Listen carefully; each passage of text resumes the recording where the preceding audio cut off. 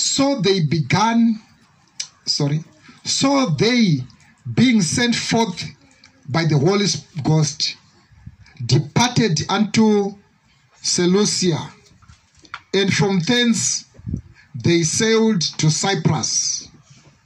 Verse 47.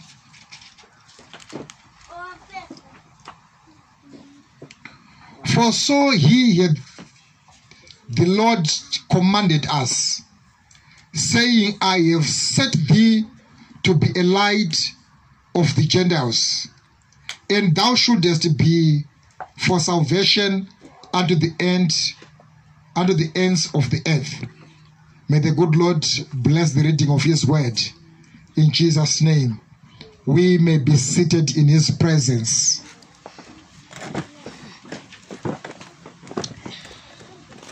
Thank you, Lord, for the word that we have read. Thank you, Lord, for the anointing. Father, in the name of Jesus Christ, help me to speak with clarity of speech. Let the favor and the blessing of the Lord be upon each and every individual through the word. In Jesus' name, amen.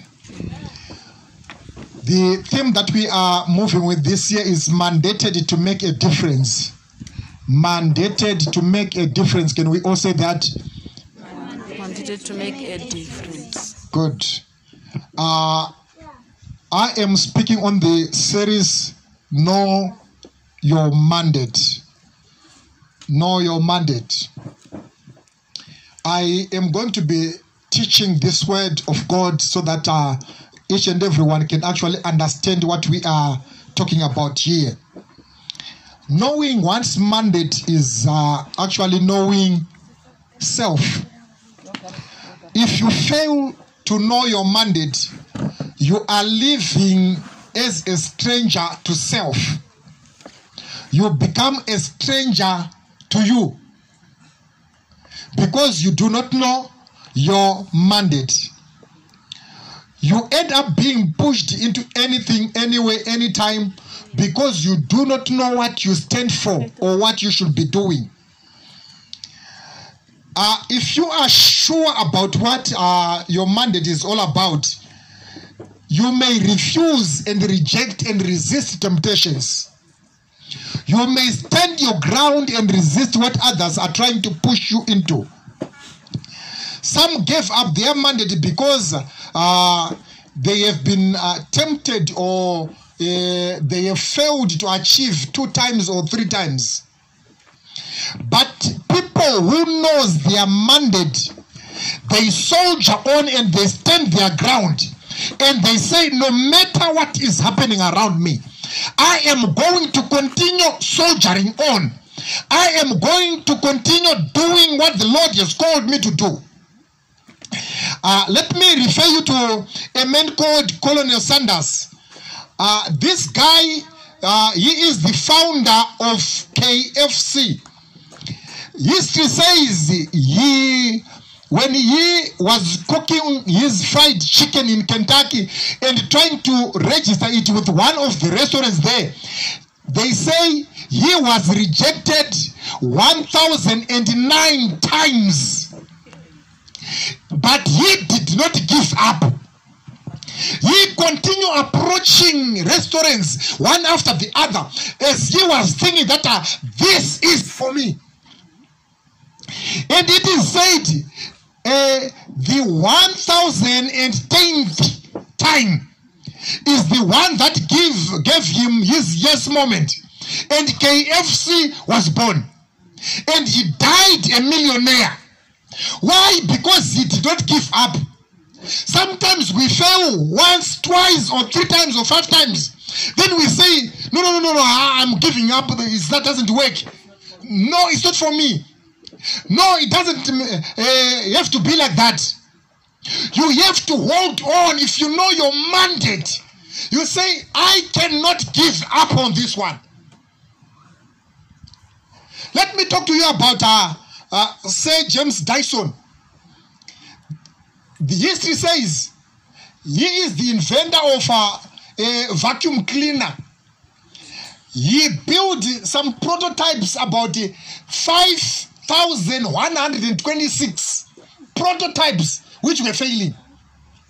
And he did it within 15 years. So he did not give up in 15 years. He continued building prototypes, trying this, trying that, trying that. And the 5,127th one did work. And within a short space of time, it transformed him to be net worth about 4.5 billion. Huh? What if he had given up? He was going to die a pauper. Yet God had given him a mandate that was going to give to, to make him rich. So let me subscribe to you today that you don't need to give up when you fail once. You don't need to give up when you fail twice. You don't have to give up when you fail 10 times. You need to continue soldiering on. Failure doesn't mean that you don't have a mandate. The Bible says when Paul and Barnabas were assigned to go and preach, their first city to enter to start preaching, they failed to establish a church there. But they did not give up. They were chased out of that city. But they did not, they did not surrender. They had to hold on because they knew that the Lord has given them a mandate to preach the gospel. So if you don't know your mandate, you can easily give up. You can easily surrender. You can easily say, This is not for me. Let me try something else. Or you can actually assign some people to your mandate. Say, maybe it's for so and so or so, so and so. Not for me. Praise the name of the Lord. Amen. What is it that keeps others going even in face of impossibilities? This is a question to you. What do you think is the, those people do possess that keeps on helping them to soldier on and to move on when all things and all the odds seems to be against them? Let me help you to answer this question. Number one is actually knowing one's mandate. If you know your mandate, you can actually stand and say, This is what the Lord has commanded me to do. I am going to do it. This is why Paul says on verse 47, where we have read, The Lord has commanded us to do this thing. And he has commanded us to go to the Gentiles, to be a light to the Gentiles. So he could not give up. Why? Because he knew that the Lord has commanded him to do that. So he was saying, I cannot give up because the Lord has commanded me to do it. I cannot surrender because this is what I was called to do. Praise the name of the Lord. So a lot of people, if they know their mandate, they don't give up. They will stand and say, This is why I was born. I am doing it because this is the reason why I exist. This is the reason why I am alive. So I am going to continue doing it. This is my mission. So when they do it, they say, I am standing in my mission. I cannot give up. I am assigned to make the world a better place. So they say, I am assigned and I was assigned to make the world a better place. Praise the name of the Lord. So each and every one of us has got an assignment, has got a mandate in this world. You only need to make sure that you uh, know it and follow it in Jesus' name. Even if it is not rewarding at the moment, sometimes there are things that we do uh, expecting reward. But sometimes some of the things takes time to reward you. So even if the things that you were mandated to do are not rewarding you at the moment, you don't need to give up. You might try and diversify while you you you you you you, you finance your area of your calling. You might do other things that brings instant cash. Yet your mandate, you continue pursuing it. Even if people around you cannot accept what you are saying or what you are doing, you are not called or you are not, you have not been mandated by people, but it is God who gave you that mandate. So you need to stand and say, no matter what is happening around me, I am going to do it. Let me tell you, don't think that people who are doing those things, they are superhuman. No, they are just determined. There are things that we you feel. Everyone has felt it. Every winner has felt it. Every champion has felt it. Every successful person has felt it. The urge to give up. When you do things, it crops up within you. You feel the urge to give up. You feel the urge to surrender. Everyone, at one time, they have felt it. But they to say to themselves, God has called me for this, and I'm going to do it. No matter what is happening. Praise the name of the Lord. Paul once wrote and say, I know how it is to sleep on an empty stomach. I know how it is to be persecuted. I know how it is to preach without food. I know how it is to work without money. But I have counted all these things worthless for the sake of the gospel. Let me say to you, I know also how it is to prepare for a sermon while you don't feel like. Sometimes you prepare for a sermon and you say, if only I had felt this uh, before time, I would have asked somebody to preach today. But let me do it anyhow. Because this is what I was mandated to do. I was called specifically for this work. I know how it is to prepare sermon after sleeping on, a, on an empty stomach. Then you say, Lord, speak. And when He is speaking through me, sometimes you think that I'm preaching to you, but actually, I will be also preaching to myself because the same message that I'm preaching is actually ministering to me also. This is why the Bible says the one who stands before people actually shares with the, the, the listeners. So when you know your mandate, when you know your mandate, you cannot give up easily. I've told you about the Sanders. No matter what was happening around him. And sometimes people, when they reject you, they don't reject you politely. They say whatever words, careless words. Get out of here. I don't want to see you here again. And one thing special about these people who do, does these things, they count the times. They record the times. How many times today? Today I've visited five. They record. The next day, they visited seven. They record it. So they know that I've been rejected 1,009 times. And on the 1,010th time, I was given a yes moment. And KFC was born. And it's now worldwide. People are now using vacuum cleaners.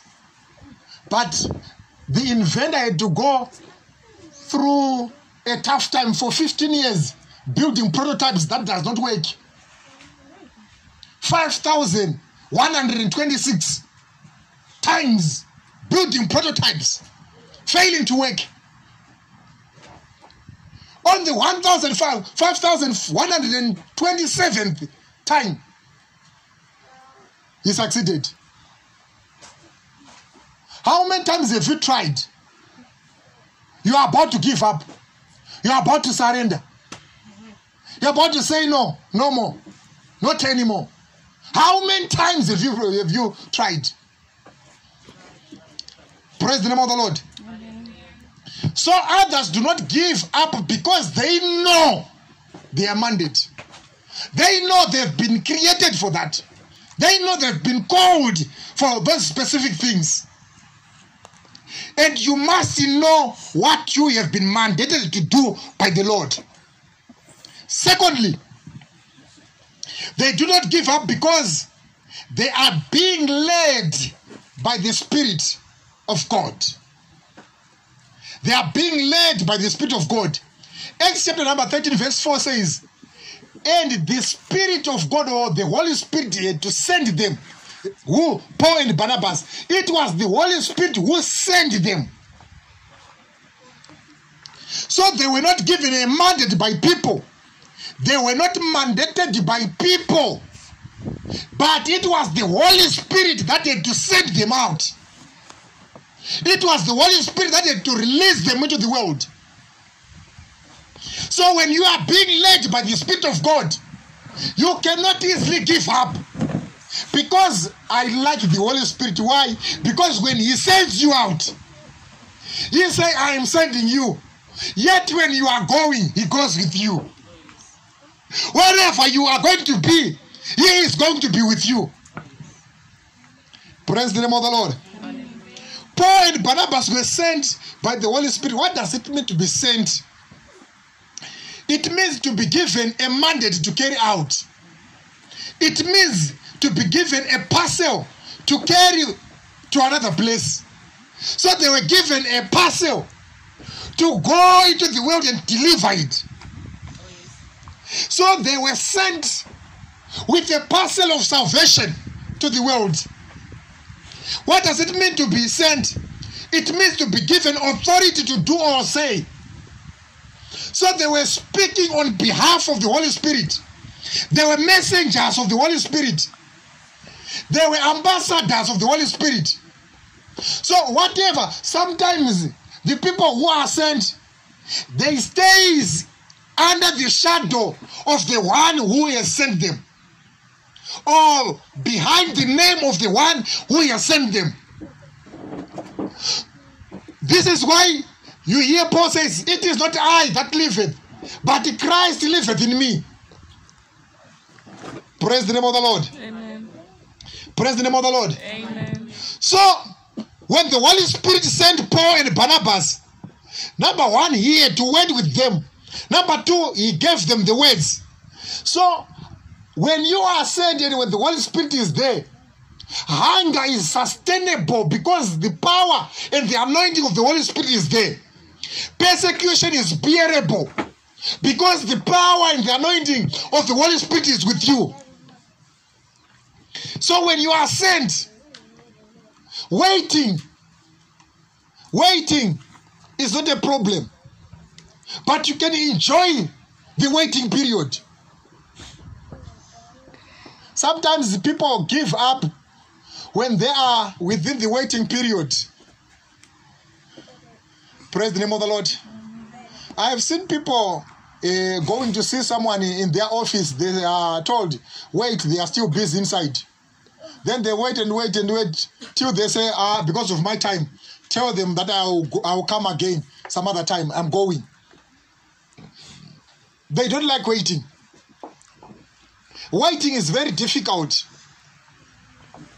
Sometimes, even when we ask people to testify or give us testimonies, they tell us how they succeeded eventually, but they don't explain to us how they handled the waiting period.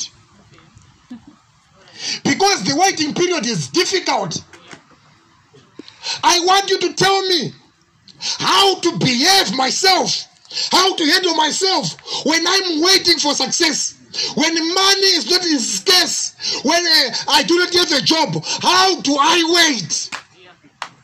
I need someone who can tell me how to wait when I'm expecting a husband. My peers are all getting married.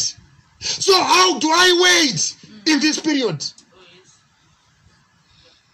I want you to tell me how to wait when things are not working out. So it is the power of the Holy Spirit that gives you the ability to continue holding on as you wait for Him to do things in your life. Praise the name of the Lord. Amen. He also tells you what to avoid and who to avoid.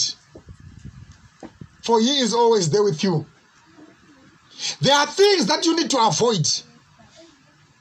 There are people whom you need to avoid for you to achieve your mandate. But it is the duty and the work of the Holy Spirit to tell you whom to avoid and what to avoid. Especially in this season that we are living in. There are some challenges that we are facing because of peer pressure, because of social media, because we are increasingly become becoming a global village. Whatever is happening in China is affecting what is happening in Zimbabwe. What is happening, happening in Zimbabwe is also affecting what is happening in UK. What is happening in UK is also affecting what is happening in the USA. Because we are increasingly becoming a global village. Fashion, dressing, friends, things and actions. We dress according to how, what we saw on Instagram. We want hairstyles according to what we saw on Instagram. We follow friends on social media and they influence our daily living. We desire to be like them, not to be like Christ. We desire to follow them, not to follow Christ. We desire to be identified by them, not to be identified with Christ. Why? It is because we want to fit in, to be like the world. Yet the world, the, the, the, the word of God commands us to be different. The word says, do not be conformed to the standards of this world, but be transformed. Be different. Yet we allow and we permit the world to influence us, to dictate the pace of our life. Where is the Holy Spirit? Do we have Him in our hearts? Do we have the power of the Holy Spirit within us? Yet we allow ourselves to be influenced. You see, when you are sent, you represent the one who has sent you. Whenever you do things, whenever you speak, the one who has sent you has spoken. Huh? Whenever you uh, they see you doing things, their minds start thinking about who has sent you.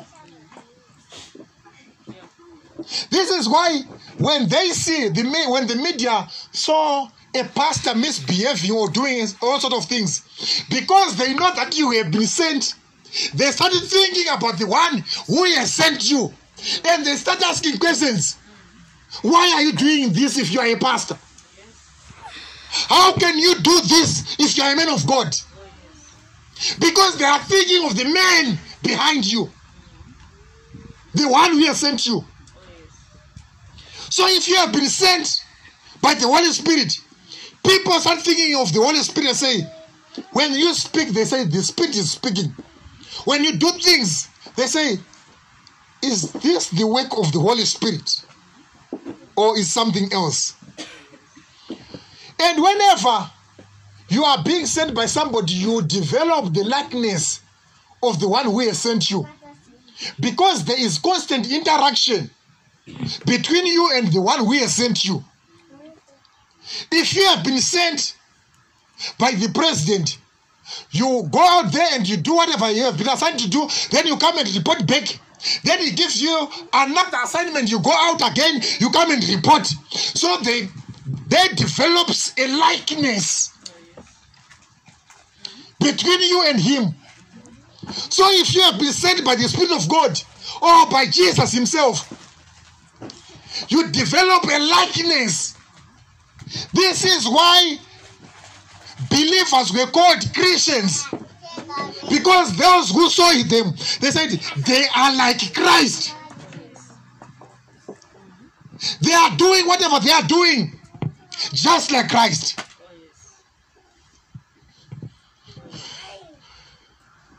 If you have been sent, you don't like what the one who has sent you do not like. Whatever he doesn't like, you don't like it also. You do what he does. Whatever he does, you do it. You live under his shadows. It's not about you, but it is about him. You know that it's not about my life, but it's about his life. It's not about my kingdom, but it's about his kingdom. It's not about my future, but it's about his work. Praise the name of the Lord. You become different by him. It is not you who initiates difference, but it is him who starts where to start it. You have to be different by him. It is you, it is him who makes you different. So that when you advocate for difference, people around you already see difference in you. You can advocate, you cannot advocate for difference when you try to fit in or when you try to be like the people whom you are trying to transform. Doesn't work. It doesn't, doesn't work. They need to see the difference in you. Then they will ask you about the difference that they are seeing in you. I once told you on several occasions when I was traveling, uh, maybe I would try to use uh, public transport. Uh, you get into a car, they say, huh? Are you a pastor? Then I said, Why did you say that? They said, ah, something different with you. Something, something. So they need to see something different in your life. Because you must be the difference that the world is demanding or that the world is desiring. You must be different. Praise the name of the Lord. Hallelujah. As Paul was preaching, the Bible says they uh, get to another city, uh, and there uh, there was this uh, uh, high-profile person who wanted to hear the word of God. So he had to send for them and called them so that they can explain the word of God to him. But this man was a, a friend to a witch doctor in the area. And the witch doctor did not want this man to receive the word. So, what did he do? He tried to resist Paul and Barnabas to block them so that they cannot speak to this man. But when Paul saw that, the Bible says he was full of the Holy Ghost. And he said to the men, Because you are resisting anything that is good from the Lord, you shall be blind for a season. And from that time, he became blind. Why? Because the Holy Spirit was in charge, the Holy Spirit was in uh, control. It was. Uh, mandating Paul to do whatever he was doing. So whenever you are doing things, let the Holy Spirit be with you. Said by the power of the Holy Spirit. In Jesus' mighty wonderful name. Victory is in the Holy Spirit. Oh, Hallelujah. Resistance can be taken off if the Holy Spirit is with you. Partners can be brought to you if the Holy Spirit is working with you. Praise the name of the Lord. When you know your mandate, you must also know the commandments that goes with the mandate. The commands or the instructions that goes with the mandate. The command is not the mandate but it is just the instructions that helps to uphold the mandate.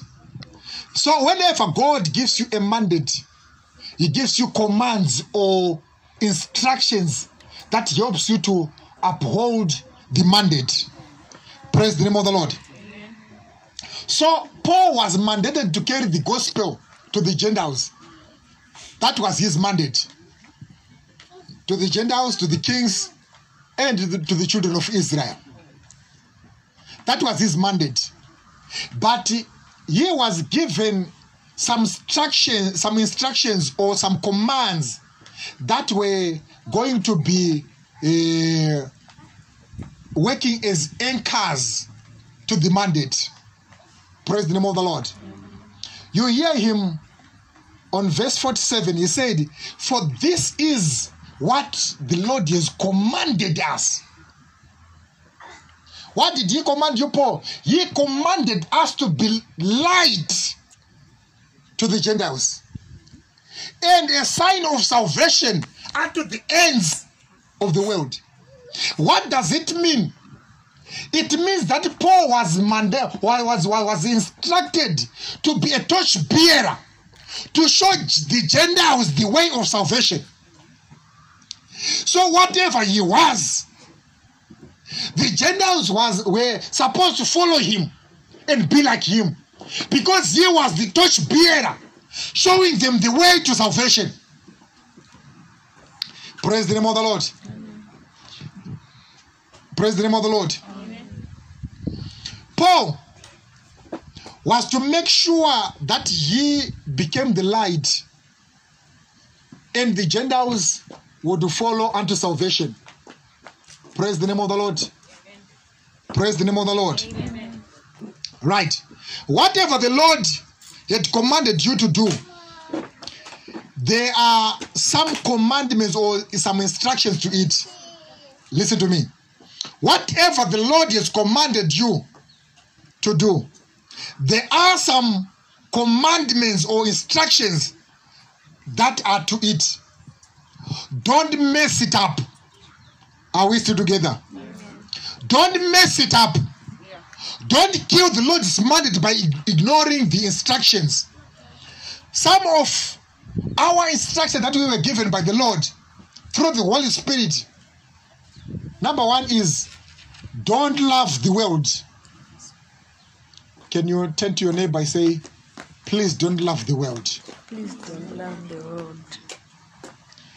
We have got people who loves the world so much to the extent that whatever the world is offering, they want it.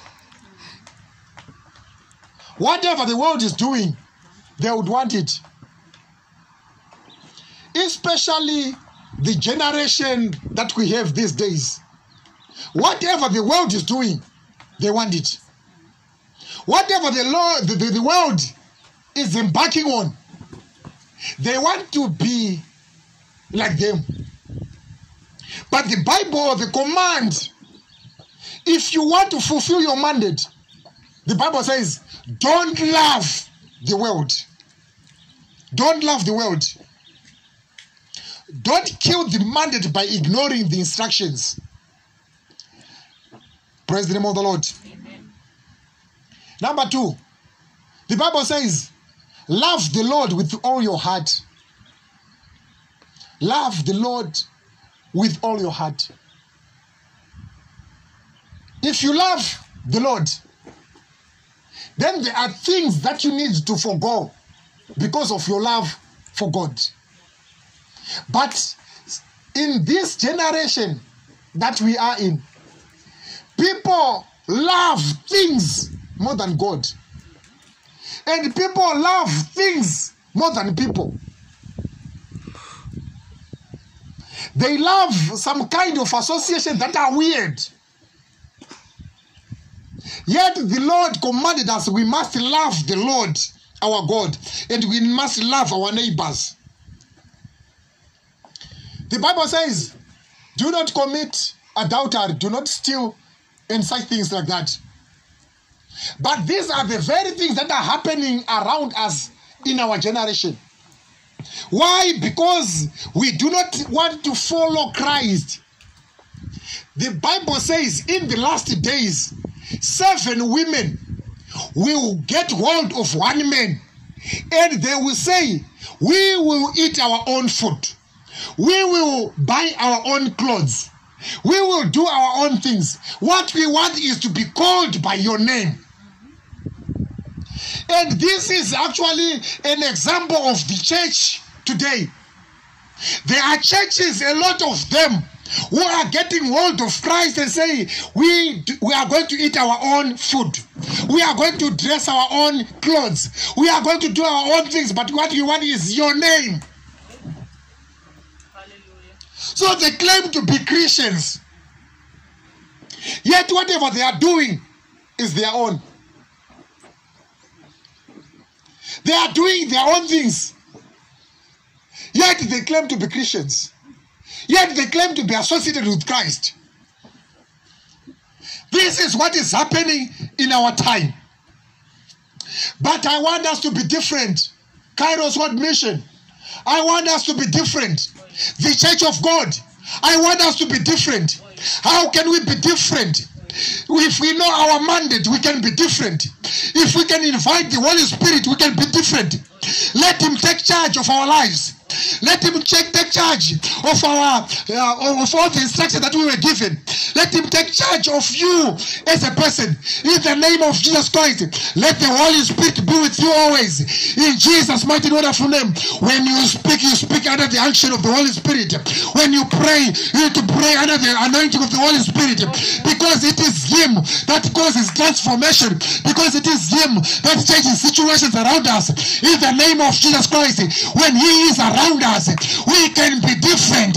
When we when He is with us, we can be different. When He is working or, or dwelling within us, we can be different. I want us to be different, Church of God. In Jesus' mighty wonderful name, no matter what is happening around us, no matter the world is getting rotten, but we want to be different. In the name of Jesus Christ, I want somebody who can say, I don't want to be conformed to the standards of this world, but I want to be transformed and be different. In Jesus' mighty wonderful name, those people who are indulging, let them, them indulge, let them do whatever they are doing. But as for me and my house, we are going to serve the Lord. In Jesus' mighty wonderful name, I want someone who is committed, who, who, who says within their hearts, let the Holy Spirit take control of my life. Let the Holy Spirit take charge of my life. Praise the name of the Lord. Amen. Praise the name of the Lord. Amen. The time has come for us to be different. Oh, the time has come for us to be different. Oh, if you want to see the hand of the Lord in your life, be different. Oh, Allow the Holy Spirit to be in charge of you. In Jesus' mighty and wonderful name. Praise the name of the Lord. Amen. We are different. Not because we cannot do what they are doing, but we choose to be different. Hmm? I have got a mouth. I can still go out there and propose to any other women out there, but I chose to be different. You can go out there and prostitute